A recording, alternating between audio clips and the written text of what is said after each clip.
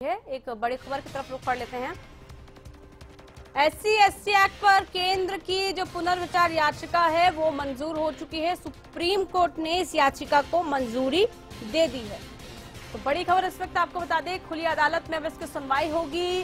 कल जिस तरह से भारत बंद हुआ, काफ़ी बवाल हुआ, उसको लेकर पुनर्विचार याचिका लगाई गई। दोपहर दो बजे के बाद कहा जा रहा है कि आज सुनवाई हो सकती है। बड़ी खबर दिल्ली से इस वक्त आपको बता रहे हैं, एससी, एसटी एक्ट पर केंद्र की पुनर्विचार याचिका को मंजूरी कल भी हालाँकि मिल चुकी थी, लेकिन कल सुप्रीम कोर्ट ने कहा था कि इमीडिएटली इस पर सुनवाई नहीं हो पाएगी। लेकिन आज कहा जा रहा है कि खुली अदालत में इसकी सुनवाई होगी।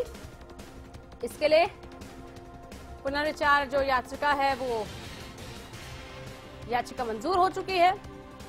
तो एस सी एक्ट पर केंद्र के पुनर्विचार पुनर्विचार याचिका मंजूरी को लेकर बड़ी खबर इस वक्त आपको बता रहे सुप्रीम कोर्ट ने याचिका की। जो मंजूरी है, वो दे दी है।